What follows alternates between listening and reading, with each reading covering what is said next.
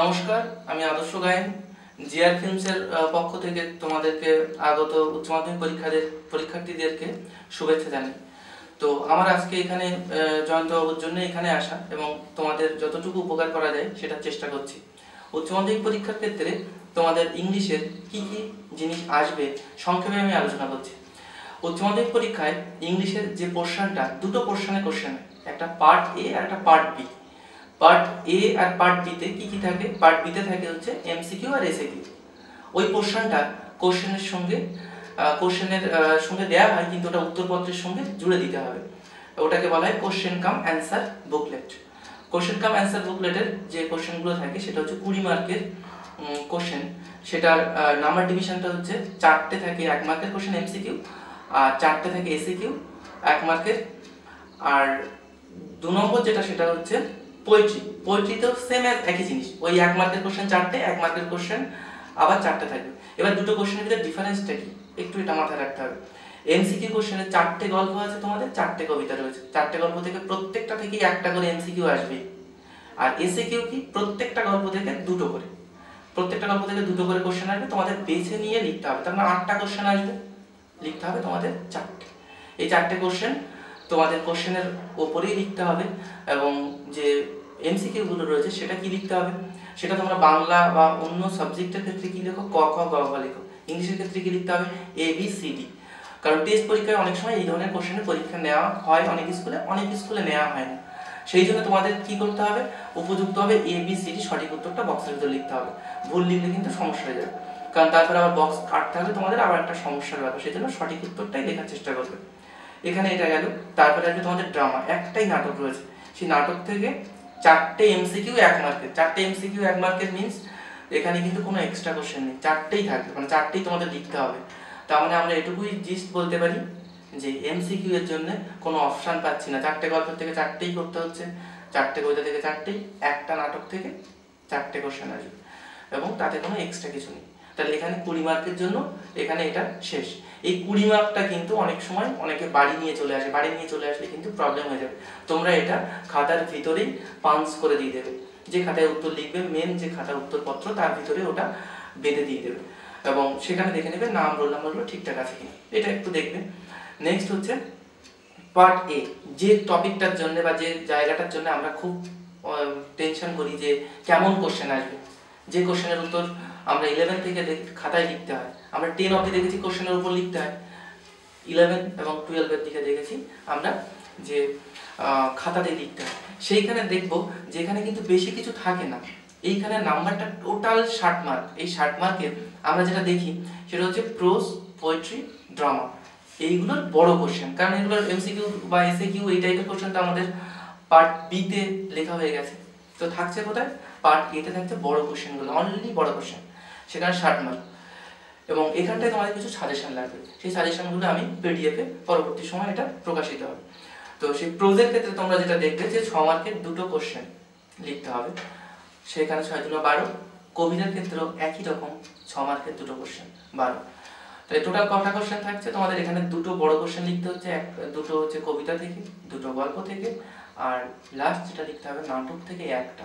তাহলে তোমাদের বড় কোশ্চেন লিখতে হচ্ছে দুটো কবিতা, দুটো গল্প, দুই দুই, চার, আর এখানে এক, পাঁচ। এই টোটাল পাঁচটা কোশ্চেন লিখতে হবে। পাঁচটা কোশ্চেনের বড়। এই বড় কোশ্চেনগুলো তোমাদের একশো ওয়ার্ডের ভিতরে লিখতে হবে। এই একশো ওয়ার্ড অনেক সময় একশো ওয়ার্ডের বেশি হলেও ক্ষতি হবে না, একটু কম হলেও ক্ষতি হবে না। কিন্তু বেশি ছোট লেখাও যাবে না, বেশি বড়ও লেখা যাবে না। এবং এটা টু দ্য পয়েন্ট এবং জিস্টটা লিখতে হবে, যেটা কোশ্চেন চাইছে। এক্ষেত্রে তোমরা লক্ষ্য করবে যে কোশ্চেন চয়েস কোশ্চেন চয়েসটা কোশ্চেন চয়েসের ক্ষেত্রে তোমাদের সবসময় উপযুক্ত জিনিস যেটা বলে দিই, যেটা পার্ট কোশ্চেন থাকছে। পার্ট কোশ্চেন মিনস হচ্ছে একইবার ছ নম্বর নয় পার্ট পার্ট করে কে কাকে বলেছে, কখন বলেছে, এই টাইপের who said this to home when তো এই ধরনের পার্ট কোশ্চেনের উপর তোমরা জোর দেবে। কারণ পার্ট কোশ্চেনে কিন্তু নাম্বার ক্যারি করতে নাম্বার পেতে নাম্বার দিতেও অনেক সুবিধা হয়। সেই জন্য অনেক সময় ছয়ের ভিতরে তোমরা অনেক নাম্বার পেয়ে যেতে পারো। কিন্তু থিমেটিক কোশ্চেন যেটাকে বলে এক চান্সে ছয়, সেটা কখনোই লিখবে না। যদি দেখো যে তোমাদের সুযোগ রয়েছে পার্ট কোশ্চেন লেখার, তাহলে অবশ্যই পার্ট কোশ্চেন লিখবে। কারণ তোমাদের কবি গল্পের ক্ষেত্রে দেখব আমরা চারটে গল্প থেকে চারটে বড় কোশ্চেন আসবে। কিন্তু তোমার লিখতে হচ্ছে দুটো। তাহলে সেক্ষেত্রে তোমার কি করতে হবে? যে চারটে কোশ্চেনের ভিতরে যেটা পার্ট কোশ্চেন দেখছ, সেই কোশ্চেনটাকে হিট করার চেষ্টা করবে। কবিতার ক্ষেত্রেও একই জিনিস, নাটকের ক্ষেত্রেও একই জিনিস। নাটকের একটা সুবিধা হচ্ছে কি, একটা নাটক থেকে তিনটে কোশ্চেন তোমাদের লিখতে হবে একটা। তাহলে তিনটে থেকে একটা, সেটা অনেক বেশি ইজি হয়ে যাচ্ছে। সেই নাটকের কোশ্চেনগুলো অনেক কমন দেওয়া যায় বা কমন পাওয়াও যায়। তো আমরা সাজেশনে সেটা দিয়ে দেওয়া হবে আমাদের যে সাজেশনটা বেরোবে, তাতে তোমরা দেখে নেবে যে নাটকের কোশ্চেন অনেক অনেক কমই দেওয়া হবে। গল্প, কবিতা অনেক কমই থাকছে।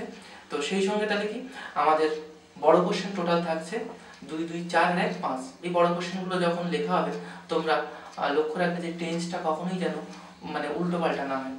ফার্স্টে যে টেন্স শুরু করছ, সেই টেন্স দিয়ে উত্তরটা লেখার চেষ্টা করবে। এবং পার্ট কোশ্চেনগুলো পার্ট মার্কিং করে করে একটু পার্ট পার্ট করে, প্যারা প্যারা করে লেখার চেষ্টা করবে অনেক সময় পর পর লিখে না গিয়ে একটু কিছুটা ফাঁক দিয়ে যদি পর পর পার্ট করে করে করা যায় স্ট্যান্ডের মতো করে, তাহলে খুব সুন্দর থাকবে। পেজ দেওয়া হবে খুব সুন্দর, তাহলে তোমরা সুন্দর করে লিখলে আরও ভালোই হবে।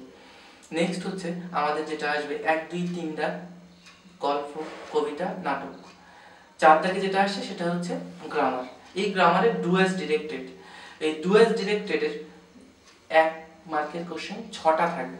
এই ছটা কোশ্চেন আমরা টেন অবধি যেটা দেখেছি যে বাইরে থেকে আসে গ্রামারটা ইলেভেন আর টুয়েলভ ইলেভেনের পরীক্ষা দিয়েছ তোমরা। ইলেভেনের পরীক্ষা দেওয়ার পরেও দেখেছ যে, বা টেস্ট পরীক্ষা দেওয়ার পরে অনেকটা দেখে নিয়েছো যে কোশ্চেন কিন্তু টোটাল আমাদের কবিতা এবং গল্প থেকে। মানে যে ন্যারেশন যে ভয়েস চেঞ্জ যে ক্লজ বা যে জয়নিং স্পিটিং যাই আসুক, সেটা কিন্তু একদম পুরোটাই বই থেকে তুলে দিচ্ছে।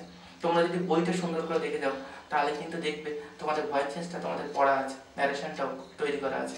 আরেকটা জিনিস যেটা মাথায় রাখতে হবে সেটা হচ্ছে যে এই ডুয়াল ডিজিট কি কি আসে?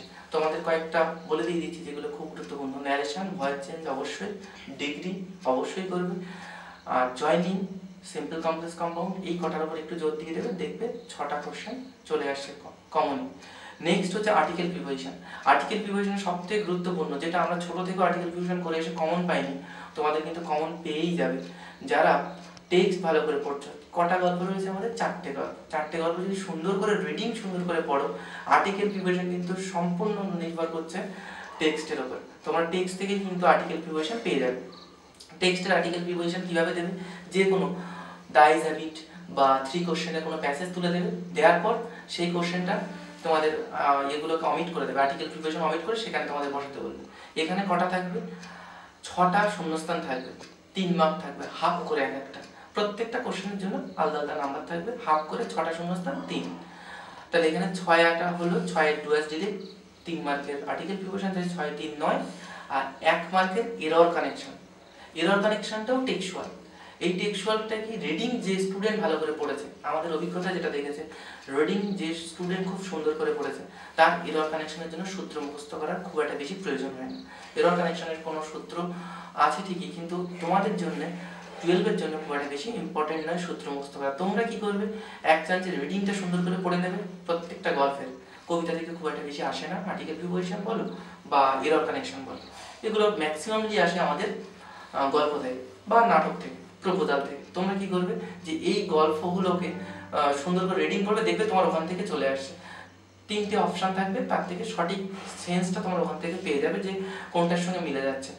এবং তোমাদের পড়ার পরে এটা তোমরা বুঝে যাবে রিডিং টেক্সট নেক্সট আসছে আনসিন আনসিন আমরা নাইন টেনে যেমনভাবে করেছি সেম একই রকম পদ্ধতিতে দু থেকে তিনবার ভালো করে পড়তে হবে। পড়ার পর যখন দেখবে যে আমাদের আনসিনটা বুঝে গেছো তখন মোটামুটি কোশ্চেনের দিকে এগোবে। এখানে কোশ্চেন টেনের মতো। মাধ্যমিকে যেমন আমরা অনেকটা কোশ্চেন লিখতে হয় আনসিনে এখানে তেমন কিছু থাকে না। দশ মার্কের আনসিন থাকে। সেই আনসিনটার কি থাকে? ট্রু ফলস থাকে। আর এসে কিউ টাইপের কোশ্চেন থাকে। তোমাদের একটা কথা বলে দিই, আমরা টেনের যে ট্রু ফলসের সঙ্গে সাপোর্টিং লিখতে হতো, এখানে কিন্তু তা লিখতেই হয় না। এক মার্কের কোশ্চেন শুধু ট্রু ফলস লিখলেই হয়ে গেল। সাপোর্টিং দেওয়ার কোনো দরকার নেই। দাগ নম্বর দিয়ে, সঠিক দাগ নম্বর দিয়ে তোমরা পরপর লিখে দেবে সঠিক উত্তরগুলো। আর তারপরে আসবে তিনটে কোশ্চেন দু মার্কের তিন দুনো ছয়। এই দু মার্কের কোশ্চেনগুলো লেখার সময় একটু লক্ষ্য রাখবে, পনেরোটা ওয়ার্ডে লিখবে। পনেরোটা ওয়ার্ডের ভেতরে ওটা লিখে দেবে। পনেরোটা ওয়ার্ডের ভিতরে লিখবে, দেখবে কোশ্চেনগুলো তোমাদের বইয়ের প্যাসেজের ভিতরেই কোথাও না কোথাও লুকিয়ে রয়েছে, উত্তরটা ওখান থেকে তুলে নিতে হবে। এখানে একটা উপযুক্ত উপায় বলে দিয়ে দিই। কোশ্চেনের যে শব্দগুলো যেগুলো আছে, সেইগুলো অনেক সময় তোমরা দেখবে প্যাসেজের ভিতরে আছে। সেইখানটায় দেখবে উত্তরটা লুকিয়ে আছে, উত্তরটা ওখান থেকে খুঁজে নিয়ে এসে লিখতে হবে। এখানে অনেক সময় অনেকে ভুল করে, যে ভুলগুলো একটুখানি লক্ষ্য রাখবে। কোশ্চেনটা যদি ফার্স্ট পার্সেন্ট সেকেন্ড পার্সেন্ট তার মানে তুমি বা আমি দিয়ে থাকে, তোমাকে সবসময় সেটা থার্ড পার্সেন্ট নিয়ে এসে লিখতে হবে। কারণ থার্ড পার্সেন্ট না লিখলে উত্তরটা আসবে না। সেই জন্য তোমাদের মাথায় রাখতে হবে যে কোন পার্সেন্টে লিখব কোশ্চেন যেটা নিয়ে থাকুক, তোমার উত্তরটা কিন্তু আসবে থার্ড পার্সেন্ট তাহলে এখানে তোমাদের ছয়, এক, চার, দশ। এখানে ট্রু ফলস আর এদিকে রয়েছে ছ মার্কের এসএ কিউ টাইপের কোশ্চেন এরপর আসবে ছয় দাগ এবং এটাই কোশ্চেনের শেষ, সেটা হচ্ছে তিনটে রাইটিং একটা আসবে রিপোর্ট একটা লেটার একটা প্রেসিং তো আমরা মাধ্যমিকে অনেকগুলো রাইটিং লিখতে হয়, উচ্চ মাধ্যমিকে অত রাইটিং লিখতে হয় না। একটাই রাইটিং লিখতে হয় এবং সেখানে নাম্বার থাকে দশ। সেই দশ নাম্বারে রিপোর্ট অথবা লেটার অথবা প্রেসিং তো সেক্ষেত্রে আমার মনে হয়, আমার যতটুকু ধারণা বা আমার যতটুকু মনে হয়েছে যে তোমাদের জন্য রিপোর্ট সবথেকে গুরুত্বপূর্ণ, তারপর লেটার তোমরা ফার্স্ট চয়েস রিপোর্ট লাগবে সেকেন্ড চয়েসে লাগবে লেটার এই দুটো যদি বেশি করে পড়ে যেতে পারো, তাহলে আর প্রেসের দিকে নজর না দিলেও চলবে। এবং রিপোর্টের ক্ষেত্রে কয়েকটা রিপোর্ট তোমরা টেনে যেগুলো করেছ, সেইগুলোর থেকেই নতুন কয়েকটা জিনিস দেখিয়ে দেওয়া হয়, যেগুলো হচ্ছে অবজারভেশনের ওপর অবজারভেশন মানে উদযাপন। বিদ্যালয়ের কোনো জিনিস, উদযাপন, দিবস উদযাপন। মেইনলি যেটা আসে, দিবস উদযাপন।